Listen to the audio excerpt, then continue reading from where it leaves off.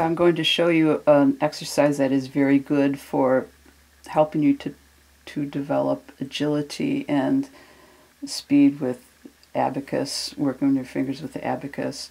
And what you do is you add 165 starting at the leftmost rod on your abacus and working all the way to the right. Now to demonstrate this on the left hand side I'm going to use my left hand so you have a better view of what's going on. But of course when you practice this you should use all your bead manipulations with your right hand. I'm just doing this for clarity. So we start here. 165, 165, 165, 1 65, 165, 165. Now notice that after one round of this, I've got these two are all filled up with 9 and 9.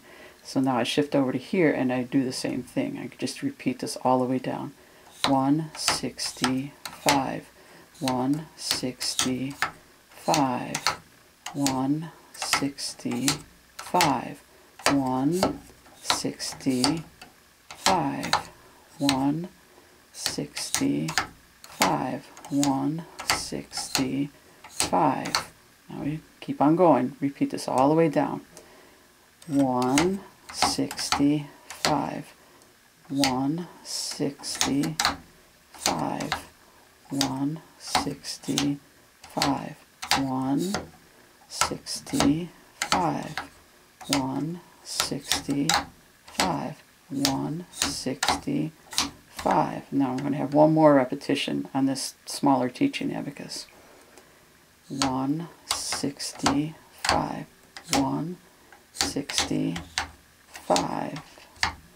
165, 165, 165, 165 and that's as much as I can do. So you can see that as I complete each round I get a 9 on that rod and it just moves successively down or to the right on the abacus.